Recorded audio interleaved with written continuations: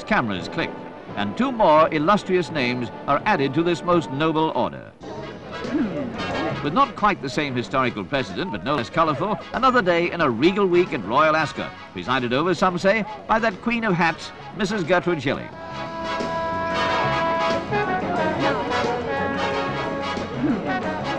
In fact, it's headwear week at Ascot.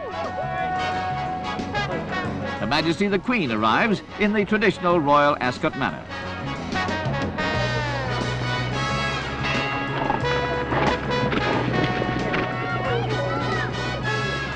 The Queen Mother.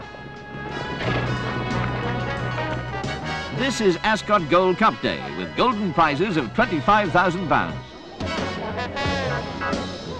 Hot favourite, Sagaro. Ascot has been the playground of English monarchs since Queen Anne built a racecourse on the Heath in 1711. That's Crash Course.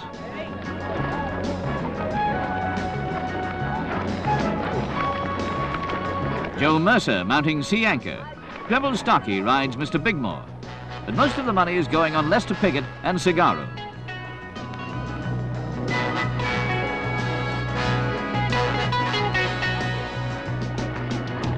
But who's looking at horses?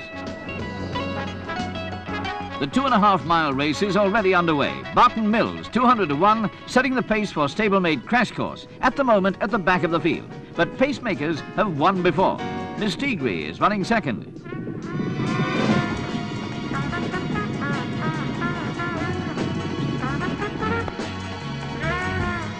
Three furlongs to go, with Crash Course now taking a good lead. But the favourite Sagaro on the outside is poised and going easily.